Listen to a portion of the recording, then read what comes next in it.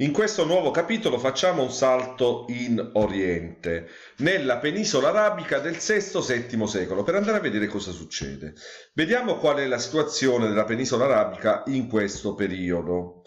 Nel centro-nord troviamo il grande deserto sabbioso, mentre nella parte sud e lungo le coste troviamo una zona più fertile dove nascono diverse grandi città sulle rotte commerciali che arrivano dall'Oriente. La popolazione dell'Arabia eh, Saudita è fatta da stanziali, cioè coloro che risiedono nelle case, nelle città, che si occupano di commercio, agricoltura e allevamento. E invece un'altra parte di questa popolazione eh, è composta da tribù nomadi eh, chiamati beduini, ossia abitanti del deserto. Di cosa si occupano questi beduini? Vivono nelle oasi, che sono delle sorgenti d'acqua che spuntano in mezzo al deserto e che permettono una certa vegetazione e si occupano dell'allevamento di capre, pecore e dromedari, di razzie, cioè rapinare le, car- le carovane commerciali o di fare la scorta alle stesse carovane perché altre tribù non le razzino. Quindi, per ricapitolare, i beduini vivono nelle oasi del deserto arabico, coltivando datteri, allevando capre e dromedari. Sono popolazioni nomadi e seminomadi di origine semitica, cioè provengono dal Medio Oriente.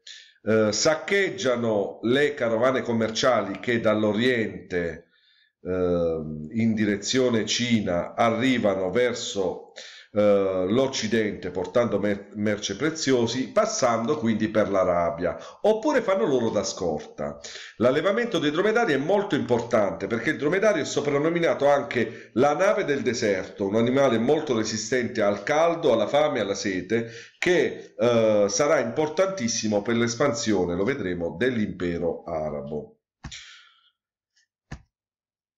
Cosa succede in questo periodo in Arabia. In questo periodo in Arabia le religioni più diffuse sono le religioni politeistiche collegate a culti e, e, idoli pagani, come ad esempio la pietra nera custodita in un edificio cubico alla Mecca, la capitale dell'Arabia Saudita, chiamato Kaaba, ehm, che era meta di pellegrinaggio. I pellegrini, quando si recavano alla Mecca per adorare la pietra nera, eh, ehm, davano grande impulso e grande vitalità ai commerci di questa città.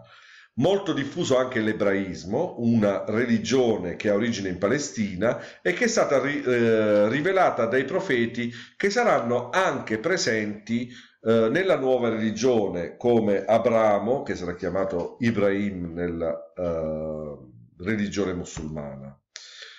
Il cristianesimo allo stesso tempo era diffuso anche eh, nell'Arabia.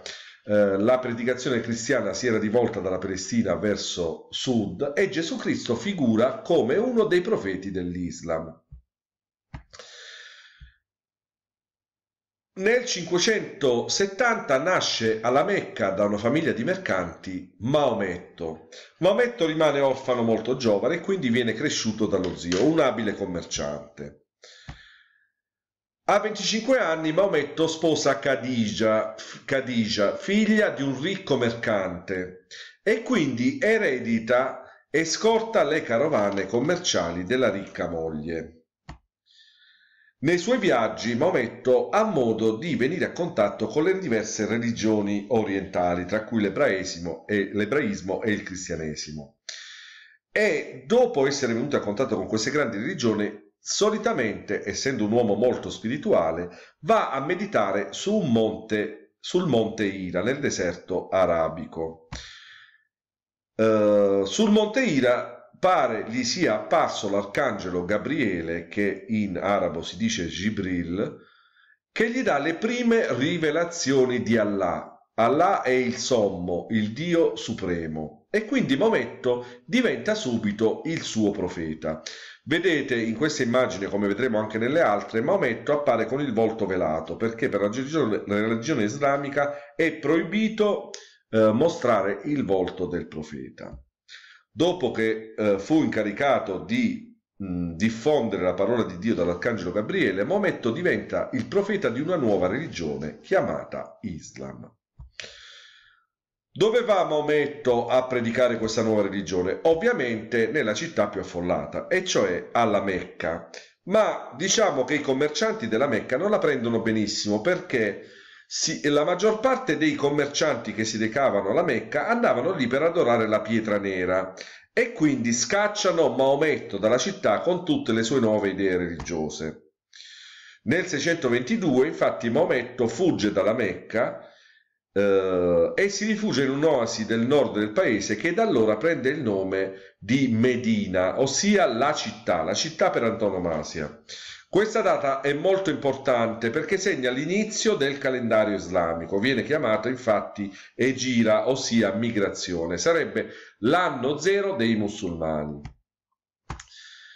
Ma Maometto uh, capisce che i beduini possono tornarli utili perché posseggono e sanno usare le armi e sono abilissimi cavalieri del deserto.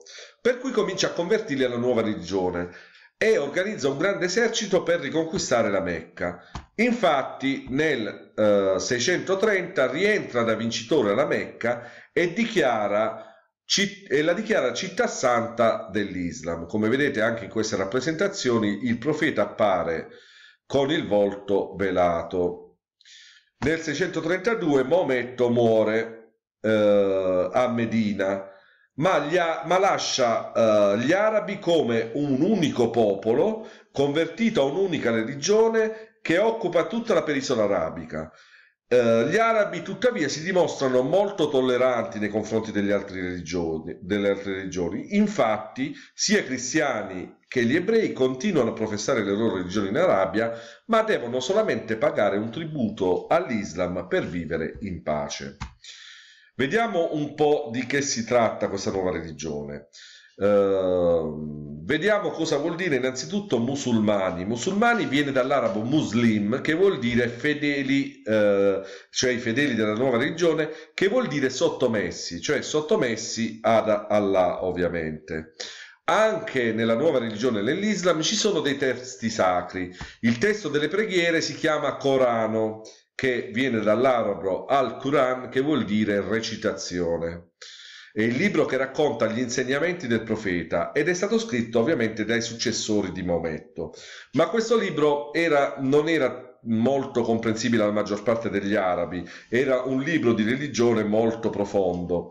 Quindi venne scritto un altro testo sacro chiamato Sunna, che non è altro che il racconto degli episodi della vita di Maometto come esempio di virtù ed era molto più comprensibile a tutta la gente d'Arabia. Quali sono i pilastri dell'Islam, della religione musulmana? Uh, sono cinque pilastri fondamentali, uh, cioè le cose che un buon musulmano deve uh, compiere nella sua vita. La professione di fede, e cioè riconoscere Allah come unico Dio e Maometto come suo profeta, il famoso grido Allahu Akbar che richiama i musulmani alla preghiera dai minareti delle moschee. Il secondo è la preghiera che va recitata dopo un rito di, purificazione cinque volte al giorno, all'alba, a mezzogiorno, a metà pomeriggio, al tramonto, la sera, rivolti verso la Mecca. Il terzo precetto è l'elemosina, cioè chi ha di più è obbligato come tassa di solidarietà a dare qualcosa ai più poveri. Infatti se visitate dei paesi islamici, all'uscita della recitazione della preghiera dalla moschea c'è una fila di gente povera che raccoglie l'elemosina. Il quarto pilastro è il Ramadan, ossia il digiuno di un mese, il nono del calendario arabo che ricorda la permanenza di Maometto sul monte Ira, in cui chi è sano, chi non ha malattie, chi non prende medicine, non deve mangiare né bere dall'alba al tramonto. Il quinto precetto, l'ultimo precetto, è il pellegrinaggio alla Mecca. Tutti i musulmani devono compiere una volta nella vita il, il pellegrinaggio eh, alla Mecca, intorno alla pietra nera che nel frattempo è diventato un simbolo sacro anche per i musulmani. Infatti eh, la leggenda dice che l'arcangelo Gabriele abbia scagliato la pietra nera sulla terra, che inizialmente era bianca, ed essa si, sia diventata nera perché ha assorbito tutti i peccati degli uomini. Quindi andando alla Mecca ci si purifica da tutti i peccati. Eh, dopo essersi compattati in un'unica grande religione, gli arabi fondano un grande impero, il più grande impero dell'epoca. Uh, si rivolgono verso est conquistando uh, le terre della Mesopotamia, verso nord conquistando il Medio Oriente, strappandolo all'impero romano d'Oriente, strappano ai Vandali il Nord Africa e ai Visigoti il sud della Spagna quindi Iran, Iraq e Afghanistan, Siria, Palestina ed Egitto e il Nord, e Nord, e Nord Africa strappati al regno bizantino mentre i primi erano stati strappati all'impero persiano, la Spagna eh, viene strappata ai Visigoti fino al 732 quando il re dei Franchi Carlo Martello blocca l'avanzata araba. Quali sono i motivi del successo? Innanzitutto la capacità di manovra. Un popolo tradizionalmente nomade poteva sopportare lunghe marce anche nel deserto. Poi la coesione, combattevano per la fede e alla loro morte sarebbero stati assunti in paradiso da Allah. Lo scontro tra, eh, di anni e anni tra i bizantini e i persiani aveva indebolito questi due grandi imperi e per, eh, per questo gli arabi ebbero la meglio. Infine, gli arabi si, si eh, rivelarono sempre molto tolleranti con le popolazioni occupate, eh, che dovevano solamente pagare un tributo per poter continuare a vivere liberamente. Ma mm, l'impero arabo non ha portato solo la guerra in giro per il mondo, ma anche una grande cultura. Nella letteratura, il romanzo delle mille e una notte è un grande capolavoro della letteratura araba, racconta le vicissitudini della eh, principessa Sharazad che ogni notte per mille e una notte racconta una fiaba al crudele re Shashirian per esse, perché gli sia risparmiata la vita. Nell'arte si sviluppa la decorazione cosiddetta ad arabeschi, infatti gli arabi non potendo rappresentare il profeta, le scene della vita del profeta, eh, usavano uno stile molto decorativo eh, che ispira l'architettura di tutta Europa. Nell'economia grazie all'introduzione dell'algebra e dei numeri eh, arabi molto più pratici per compiere addizioni e sottrazioni, ehm, l'introduzione dei numeri, dei numeri, arabi consente un grande sviluppo dell'economia. E viene introdotto inoltre il significato dello zero, che prima non esisteva in matematica. Vengono introdotte nuove colture come le agrumi e nuove tecniche di irrigazione e coltivazione intensiva. Pensate che gli arabi erano abituati a coltivare in zone desertiche, quindi ne sapevano molto di quest'arte. Eh, e qui potete vedere il romanzo dell'Emilia una notte, i giardini eh, arabi pieni di agrumi, i numeri arabi, quelli che usiamo ancora adesso, è un esempio di arabeschi.